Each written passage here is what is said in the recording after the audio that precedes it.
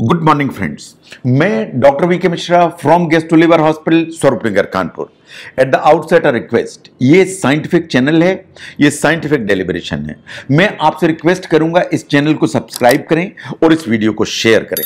आज मैं बात करूँगा एसिड रिफ्लक्स के बारे में। जो एसिड रिफ्लक्स है is a very common problem जब मैं एसिड रिफ्लक्स की बात करता हूँ, इसका मतलब यह कि खाने की थैली से एसिड चढ़ के आपकी खाने की नली में आ जाता है, वापस चला जाता है। फिर खाने की नली में आता है, वापस चला जाता है। जो एसिड चढ़ के खाने की नली में आता है, वो बहुत सारे सिम्टम्स लेके आता है, लेकिन उसमें जो सबसे इंपॉर्टेंट सिम्टम इज़ कि सीने में जलन होती है खट्टे खट्टे डकारें आती हैं, या रिगर्जिटेशन वाटर ब्रेश होता है। तो acid reflux is a very common problem तो क्या एसिड रिफ्लक्स जब भी आपको होता है, आपको तुरंत ही डॉक्टर के यहाँ दौड़ना चाहिए? शायद नहीं। जो रूटीन एसिड रिफ्लक्स है, उसके लिए आपको डॉक्टर को कंसल्ट करने की ज़रूरत नहीं है। लेकिन उस लक्ष्मण रेखा को आपको पहचानने की ज़रूरत है कि आपको कब डॉक्टर को कंसल्ट करना चाहिए। अगर आपको एसिड रिफ्लक्स है तो डॉक्टर को कब दिखाएँ, इस बारे में बात करूँगा मैं आपको। कुछ फैक्ट्स को समझिए कि अगर ऑकेजनल आपको हार्ट बर्न हो रहा है तो आपको सिर्फ़ ओटीसी मेडिसिन लेनी है, आपको कुछ एंटासिड यूज़ करने हैं, या कुछ I mean sodium sodium bicarbonate Eno इस तरह की जो चीज़ें हैं, उन्हें ही यूज़ करनी है। तो जो ओटी मेडिसिन हैं, उनसे आपके सिम्टम्स चले जाएँगे। अगर हार्ट बर्न आपको कभी कभी होता है तो देन आप डाइटरी चेंज करेंगे। आपके खाने की क्वालिटी खाने की अमाउंट उसको ठीक करेंगे तो ये समस्या चली जाएगी। नो अगर ये जो आपकी प्रॉब्लम ऐसी है कि जो आपको रेगुलरली परेशान नहीं कर रही है आपको कभी कभार होता है तो आपको डॉक्टर को तुरंत जाने की ज़रूरत नहीं है।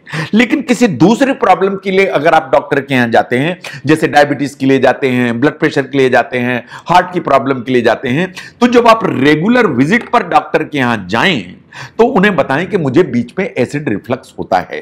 ताकि अगर डॉक्टर समझते हैं तो आपके जो रेगुलर मेडिकेशन है, उसमें एसिड रिफ्लक्स की भी कुछ मेडिसिन जोड़ी जा सके। इसका मतलब यह है कि कभी कभार होता है तो ओटीसी मेडिसिन लीजिए कभी कभार से ज़्यादा भी हो रहा है, आपको परेशानी लगती है तो भी ज़्यादा दिक्कत अगर नहीं है तो आपको जाने की ज़रूरत नहीं। जब आप रेगुलर विज़िट पे जाएँ तो अपनी समस्या बताएँ। लेकिन अगर आपको लगता है कि आपका एसिड रिफ्लक्स हफ़्ते में कई बार होता है अगर कई बार होता है तो आपको डॉक्टर को दिखाने की ज़रूरत है ताकि उसकी डायग्नोसिस की जाए एंड ट्रीटमेंट स्ट्रीमलाइन किया जाए, क्योंकि अगर आपको हफ़्ते में कई बार हो रहा है तो यह प्रॉब्लमेटिक इशू हो सकता है। नो जो वार्निंग साइंस है, उनको ध्यान से देखिए। अगर आपको इंट्रेक्टेबल वॉमिटिंग हो रही है, उल्टियाँ बहुत ज़्यादा हो रही हैं, आपको बहुत फोर्सफुल वॉमिटिंग होती है, अगर आपको स्टेल फ़ूड वॉमिटिंग होती है इन द सेंस कि सवेरे आपने कुछ खाया, रात में वॉमिटिंग हुई तो वो निकल रहा है। आज आपने सवेरे कुछ खाया, कल वॉमिटिंग हुई, उसमें निकल रहा है तो intractable vomiting forceful vomiting still food vomiting अगर ये ऐसा हो रहा है तो ये वार्निंग साइन है डॉक्टर को तुरंत दिखाइए। अगर आपको जो वॉमिटिंग है, उसमें आपको ब्लड दिखाई देता है लार्ज अमाउंट पित्त या बाइल दिखाई देता है येलो मटेरियल या आपकी जो वॉमिटिंग है, वो काफ़ी ग्राउंड कलर की है तो आपको अपने डॉक्टर को तुरंत दिखाने की ज़रूरत है।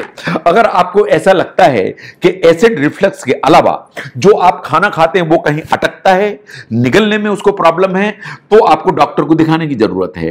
अगर आपको लगता है कि एसिड रिफ्लक्स के अलावा सांस में हल्की सी दिक्कत होती है ब्रीदिंग ट्रबल है तो आपको अपने डॉक्टर को दिखाने की ज़रूरत है। इसके अलावा अगर आपको लगता है कि रात में आप जो खाना खाते हैं, वो आधी रात में पलट पलट के गले में आता है नॉक्टर्नल सिम्टम्स आते हैं तो डॉक्टर को कंसल्ट करिए। आपको लगता है कि जो खाना और एसिड और सब पलट के यहाँ आता है, उसके साथ में आपको तुरंत खांसी उठ जाती है चोकिंग सेंसेशन आता है तो आपको डॉक्टर को तुरंत दिखाने की ज़रूरत है, ये प्रॉब्लमेटिक इश्यू हो सकता है। तो अगर हम ध्यान से देखें कि ये कुछ सिम्टम्स ऐसे हैं, जिनके लिए आपको डॉक्टर को दिखाने की ज़रूरत पड़ती है।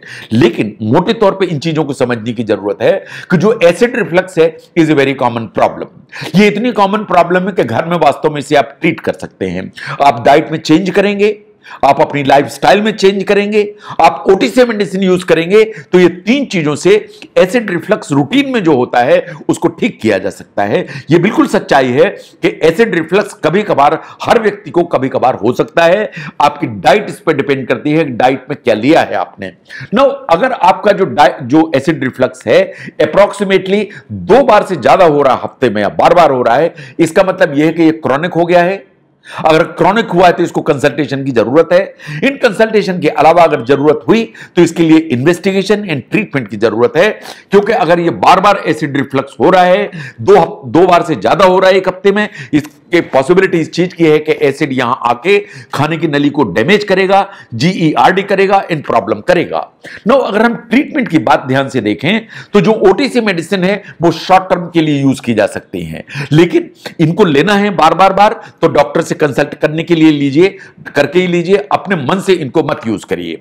नाउ क्योंकि क्रॉनिक जो रिफ्लक्स है, अगर लंबा चलता चला जाएगा तो ये आपकी क्वालिटी लाइफ को गड़बड़ करेगा, आपकी सोशलाइजिंग को अफेक्ट करेगा, आपकी नींद को गड़बड़ करेगा तो दूसरे दिन का जो पूरा डे है, उसको वो डिस्टर्ब करेगा।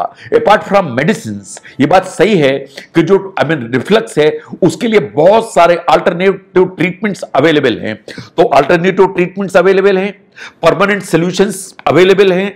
तो अगर आपको लगता है कि लाइफस्टाइल से ठीक नहीं हो रहा है आपको लग रहा है कि डाइट से ठीक नहीं हो रहा है, आपने इन्वेस्टिगेशन कराए और मेडिसिन ली, और आपको लगता है कि मेडिसिन से भी ये जो प्रॉब्लम है, वो जैसा चाहिए वैसा कंट्रोल नहीं हो रही है। तो आप अपने डॉक्टर से डिस्कस करिए कि इसके what are the alternative treatments इन और क्या चीज़ें अवेलेबल हैं, जिससे इस प्रॉब्लम से मुझे परमानेंट छुटकारा पाया जा सकता है, या दिलाया जा सकता है।